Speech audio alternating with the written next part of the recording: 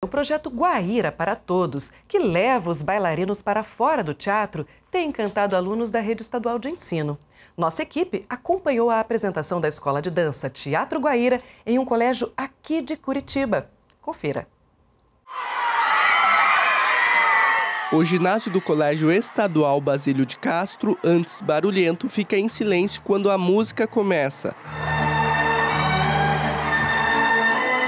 Entre os estudantes está quem já fez parte desse universo. Sara Poliana, que fez balé quando criança, relembra a emoção de participar do projeto e fala com carinho sobre a dança que ainda a encanta. Foi um grande aprendizado para mim e ver elas, por, por, incrível que pareça, são amigas minhas que participaram comigo. É, infelizmente não estou junto com elas, mas é muito de bom grado eu estar vendo elas é, apresentando é, foi uma das apresentações que eu apresentei no Guaíra.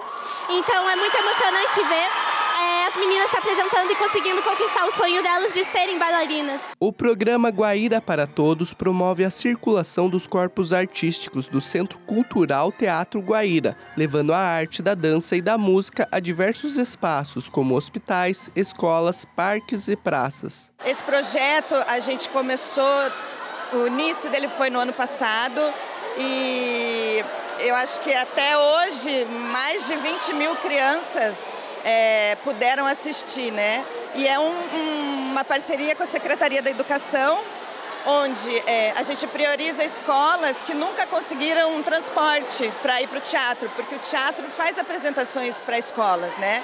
O, tanto o G2 como o Balé Guaíra, como a Orquestra Sinfônica e a Escola de Dança, a gente faz espetáculos para a escola, mas a escola precisa conseguir um transporte. Então, com esse projeto, a gente consegue estender as portas do Teatro Guaíra para além do teatro. O palco é montado na quadra, mas a magia da dança é a mesma. A Escola de Dança Teatro Guaíra leva a arte para além dos muros do teatro, criando uma conexão direta com o público que talvez nunca tenha tido a chance de assistir a um espetáculo assim, tão de perto.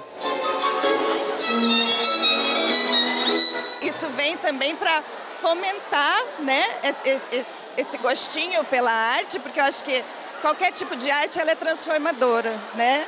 Ela consegue atingir é, sentimentos, emoções e lugares dentro da gente que só a arte consegue. Então eu acho que é, é isso tudo que, que faz esse projeto tão incrível.